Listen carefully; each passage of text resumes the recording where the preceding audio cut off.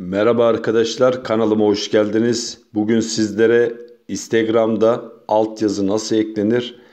Instagram'da altyazı otomatik olarak nasıl eklenir bunu göstereceğim. Öncelikle Instagram hesabımıza giriş yapıyoruz.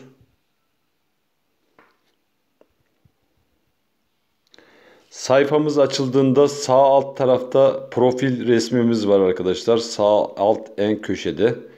Buraya basıyoruz. Karşımıza açılan sayfada yine sağ üst köşede 3 çizgi var. Görüyorsunuz. Bu 3 çizgiye de tıklayarak giriş yapıyoruz.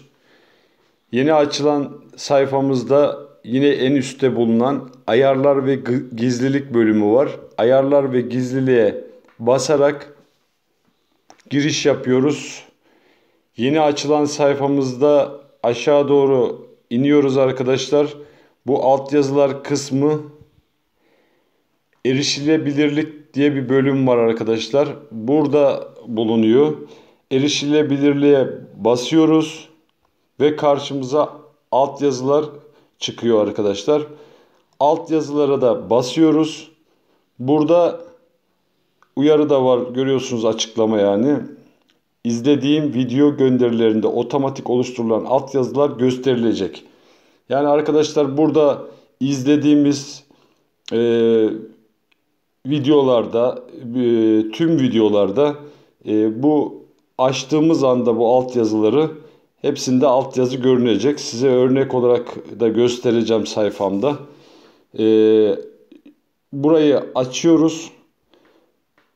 Arkadaşlar şunu belirteyim. Bu kendimiz video hazırladığımızda daha doğrusu hikaye olabilir veya bir videoyu Instagram'da paylaştığımızda buna kendimiz e, düzenleme yaparken altyazıları oradan da açabiliyoruz arkadaşlar.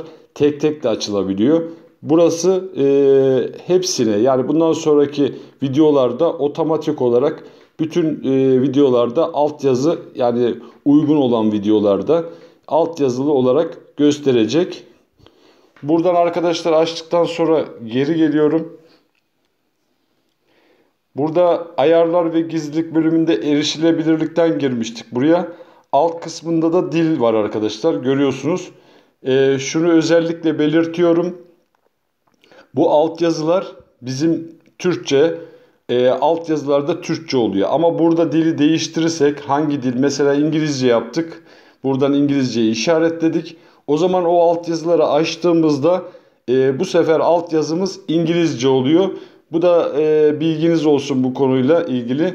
Çünkü bu da önemli. Yani hangisinde ayarlıysa diliniz o dilde altyazı gösteriyor arkadaşlar. Buradan geri geliyorum. Ve sayfamızda gördüğünüz gibi arkadaşlar bir videom var. Burada altyazı şu anda oluşturulmuş durumda.